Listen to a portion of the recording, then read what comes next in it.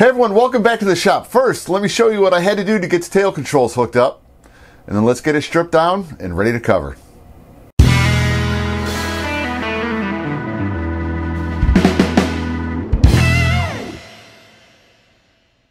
Before we get back to the Stampe, um, with my YouTube channel, uh, the B-17 Bomber, uh, the restoration of the real one, um, it went from about 12, 13,000 views within the past week and a half. And I think now we're sitting at 42 or 43,000 views. So uh, there was a virtual explosion of people watching it. Uh, and I just want to throw down a little shout out for everybody that, that did view that one. Um, I'm planning on heading back out uh, to see Mike out in Wrangell, Illinois, um, to do another video because I figured I'd be doing yearly uh, updates on it. Um, please, down below uh, in the comments, uh, if you've got any questions you would like me to ask Mike, or if you want me to focus on a couple different uh, parts of the plane and the state that it's in, uh, go ahead and leave them down below. Uh, so what I'll do is when when I do go out there, um, I'll have a little more stuff prepped because that first video, the one that I did last year, um, I'd been out there and I'd seen that uh, the B-17, you know, once a year for I don't know, almost two decades now, because I've never actually recorded a video like that where I was doing it so kind of like an interview. Um, I was very unprepared for it, so we just kind of flopped our way through that one. It came out okay, uh, but if I could possibly have some questions uh, or a little more focus from you guys, is what you'd like to see uh, with the restoration. Um, it'll give me a little bit better direction, and hopefully it'll flow a little bit better when it comes time for me to edit. So anyway, let's get back to the Stampe. All right, I do have the tail controls hooked up now. I'll bring it back around and show you what I had to do on that side. I can't move it too much because it's not glued in. It's going to want to fall out. Uh, as you saw from my little teaser in the last video, instead of having this rotate down, I had it rotate closer to a 45 degree angle. The way it hooks up right there. And by that, everything works great on it. I had to do some stuff inside the fuselage, so there's full throw. So I do have full throw with it. So I'm happy with that. And for the elevator, you'll see I'm going to go ahead and have to trim this down. But that'll be done after it gets covered and everything. But I've got everything set up and all the controls work great. Now this piece here, of course, I'm going to go ahead and glue this piece back in again. I was still thinking about leaving it a window. Um, and I, I'd like to, I'd like to do it, but something's telling me not to. If I wanted to, I can have a box, a rectangular piece cut out here. So when I cover it, because it's covered in fabric, so the fabric itself become a structural member of the plane because it is glued. It's adhered through the nitrate dope to the wood. If I wanted to, I can have an open slot here. So if I did have to go in there for any reason inside, I could just cut it and then uh, because if you've ever worked with uh, with fabric, you can cover, you can put patches in, and they blend in very nicely. Um, but I think what I'll do is I'll come on in and either epoxy it down here or hot glue. It is stiff enough inside there. I can probably leave that the way it is, and then just go ahead and up front here. I'm going to put a cross beam across here so that way I can cradle these two in place and then glue it up front. So sand it down, glue it in up front, and that way there's no sliding back and forth. Now, because when I was moving these things back and forth, there was so much play on the inside, I had to cut another hatch through. And then on the inside, you can see I made little ladders.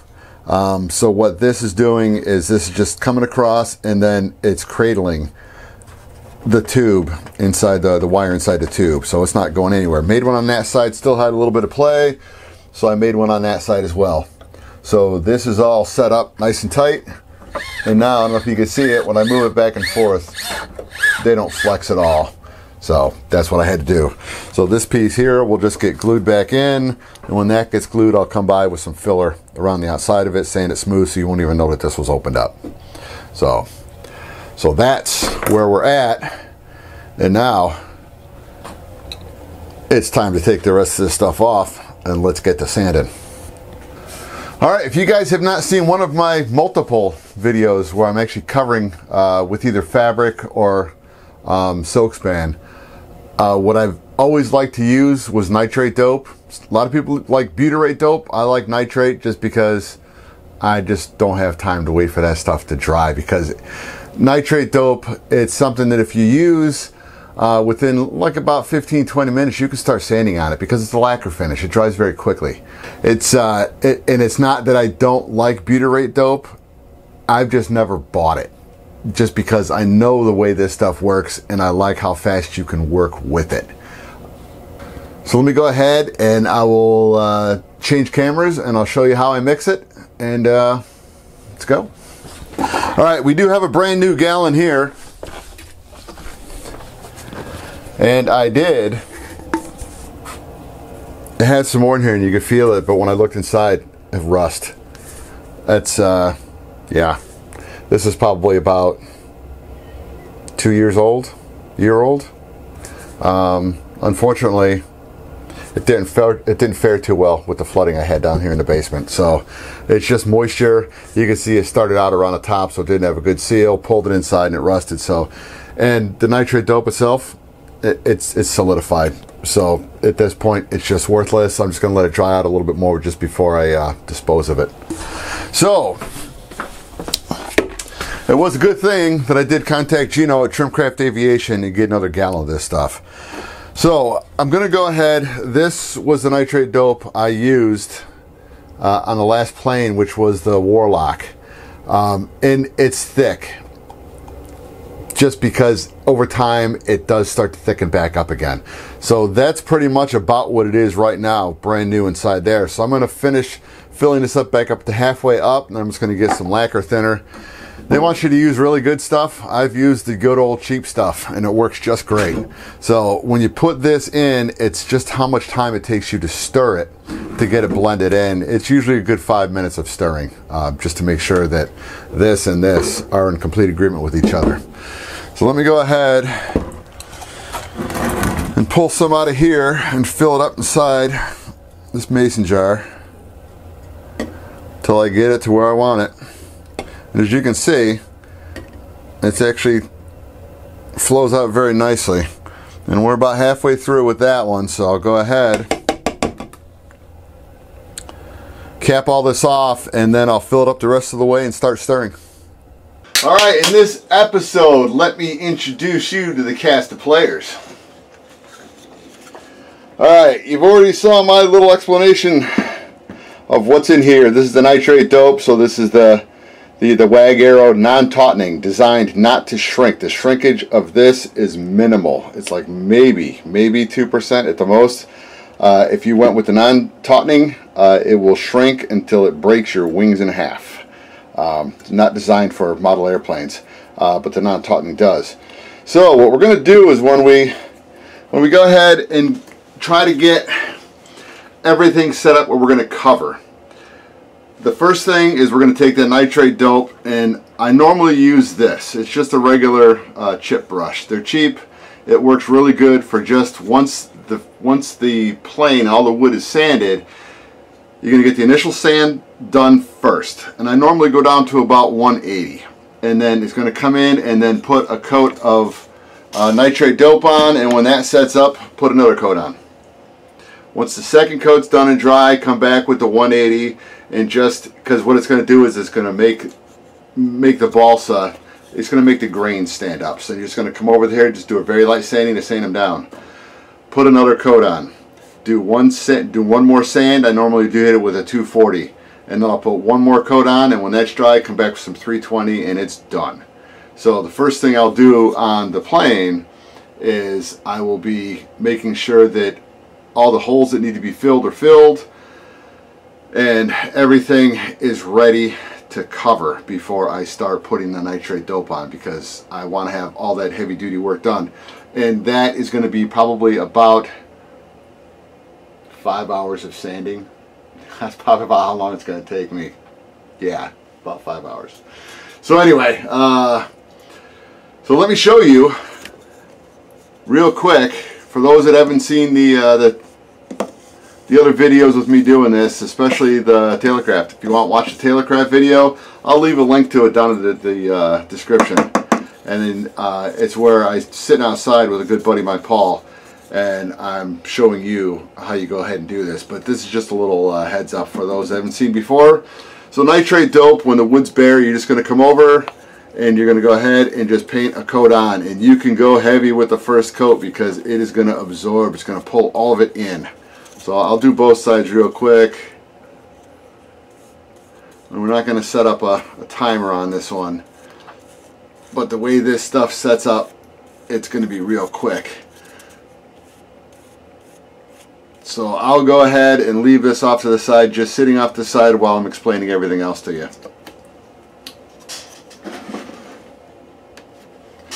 All right, once we get, so this is, so once we get the initial nitrate dope put on the, on the fuselage, on the tail, on the wing, and it's all sanded, ready to cover, then the next player, the next actor, will be Poly-Tak.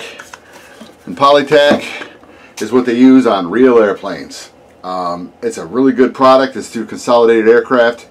Um, I get my stuff through, just like the other stuff, Wag-Aero. It's probably about an hour and a half north of where I live. So if I have to drive up there, I don't have to pay I don't have to pay hazmat fees to have it shipped to my house. So what it cost me to drive up there is a lot less than a hazmat fee.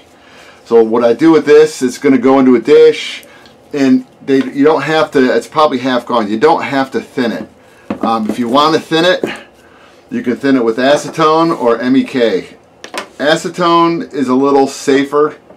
Uh, let's just say on the uh, on the brain than MEK is. If you're going to use MEK because I will clean the brushes out. This little brush here is what I use for Poly-Tak. Just because I've cut it down and sanded it through the sander to the point where it works out very nice for the Poly-Tak for painting it along the line where this is going to become the glue. So you're going to put a thin, so let me bring it out here. So say that this piece here, so say that I was going to go ahead and let's just use this as just a piece, even though this is going to get glued back in say I was going to put some uh, Poly-Tak here. Dip into my little cup and then pull it out and then just go ahead and just go across with a straight line and you kind of want it thick. So what I do is I normally go on, uh, I put a thin coat on and then I'll put a thicker coat on and as I'm putting it on I'm very slowly working my way down the fuselage and I like to because it takes a little bit longer for this stuff to set up the nitrate dope. I'll pull the fabric over the top of it and pull it down so the Poly-Tak starts to come up through the weave. And then I'll just come across with my finger and then just smooth it out. And once you're smoothing it out, you're locking that weave into the Poly-Tak. So it is a cement, so it's an adhesive. So when this stuff sets up all the way, it's not only stuck to the plane, but it's stuck to itself. So uh, when you normally have to take parts of this off, you got to hit it with some heat just to warm it up, and then it'll peel right off. But this stuff is really good. So the Poly-Tak, like I said, MEK, wear a respirator. If you're using it and you've got a respirator, use it because I always use mine uh, when you're using this stuff because uh, MEK is one of those uh, chemicals that when you use it, you're never going to know when you're going to hit the floor. Yeah, it's nasty stuff. So uh, acetone, we've all used acetone. Uh, it's not as uh, it's not as vicious on your on, on your well-being as MEK is. So and then the last character in this play is aluminum paste. I don't know if I'm going to use it on this plane, but in real life, planes use aluminum paste when they're when they're using this product. The old school use aluminum paste, and what you're doing is two things. The first thing you're doing is you're really blocking UV rays from getting to the fabric on the plane because UV rays and nylon fabrics they don't like each other at all. And so that's what will start break down the fabric. I don't have to put this on the plane because the only time the plane's outside is when I'm flying it. Other than that, it stays inside. The reason why I put it on there is so that it does not allow light to come through the wings. So it's just usually my final uh, final coat of dope with the light coming through the so that way you're blocking the light coming through. What I may try this time, I'll do a test piece and you'll see it on the test piece I may just shoot some uh, automotive primer on it because that'll do the same thing. But on the Taylorcraft, I was lifting. Paint was lifting, and it's primarily because I did not know, I've never used that paint before. And this was the paint, Krylon Dual. And if you've watched the videos back from a couple years ago in wintertime when I was doing the Taylorcraft, I was on the phone with Krylon several times talking to their chemist to figure out why this paint would attack itself. And even by going through the, the, the rules that they told me to use the, uh, on how long it is, it's either you got to do it like within, let's just say you got to spray it within like 40 minutes or an hour. I can read through, but either within the first two hours or you got to wait 72 hours. I waited over a week and it still lifted the paint underneath it.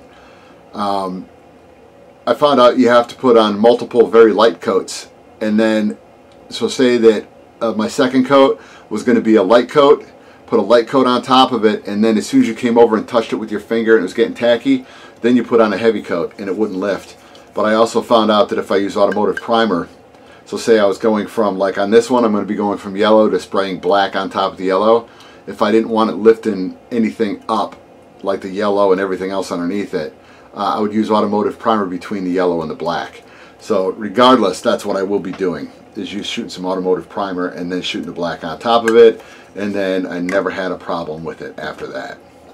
So anyway, last but not least, I have a special brush that's near and dear to my heart. This brush started its journey in life with me back in probably 1987, 1988. Yeah, yeah, I'm old and the brushes from about 1988. I ended up taking a class with the community, uh, with the with the with the village. It was like an arts class, just because uh, I had done painting with oils uh, back. My grandmother taught me how to paint with oils, um, and to me, I found oils relatively easy because you're just putting paint on top of paint. So I went and took a, a class with watercolor and oh boy what watercolor can do to you. Uh, you have to start off light colors and go to dark colors. There's no other way around it. So you, you learn how to correct your mistakes. I never kept anything. Uh, was not uh, it was not impressed. It wasn't I didn't have the patience for it. It wasn't my style of painting. Uh, but I did keep the brushes and this is the brush I use for putting the nitrate dope on the fabric itself because it doesn't leave strings behind. If you've got a cut brush like this it's going to leave little strings behind and if you don't pull them out right away it, you're going to have to try to sand it out of the uh, off of fabric and once this is bonded bonded down to the fabric it doesn't want to come off. So I ended up going with this and this one for as many years as I've used it it's done shedding. It, it does it no longer sheds. Um, so this thing works out great for fabric. So uh, if you can find it you, I'm sure they still make them there's no name left on it but you're just looking for a watercolor brush. And it's a, it's a typical, you know, like a nylon fabric. Um, and it's a very, very fine bristle. So it works out great. You just got to take good care of them. So anyway, after hearing that, welcome to the world of going old school, covered with fabric. And there's no adhesive to the backside of it or anything. You get to do all the hard work yourself. So because I didn't open it up to show you, uh, the aluminum paste. And it's a good thing you don't have smell-o-vision because this does not smell good at all. It's a real paste. It's aluminum. It's aluminum in some kind of, and I don't even know what it is. I don't. It's. I've got no idea. All I know is it's. Uh, yeah. It don't smell good at all. It's actually not good for you. So don't eat it, kids. Don't eat it. Um. So anyway, what you do is you just take a little bit, and it's not that much at all and uh, I normally put it inside the dope, the nitrate dope. Uh, if this was for for like the airplane when I'm doing it, if I'm going to use this stuff when I'm doing it, uh, because it's your final coat that you put on. After you've done all your sanding, you put this on, then you paint it. Um, if I'm going to put it in here, I'll probably use about half of it, and then uh, with the hopes that you're going to put enough aluminum paste inside there. Because if you don't have enough paste in, you're gonna end up putting another coat on, which adds more weight. So that's kind of why I'm kind of half, pretty much so thinking that uh, I may just try uh, just primer. We'll see what happens. So anyway, let's call this a video. And I thank y'all for watching. And uh, I'll start sanding the beast. And then uh, when the time comes to start putting on nitrate dope, um, I'll bring you guys back just so you can enjoy the fun. Oh yeah.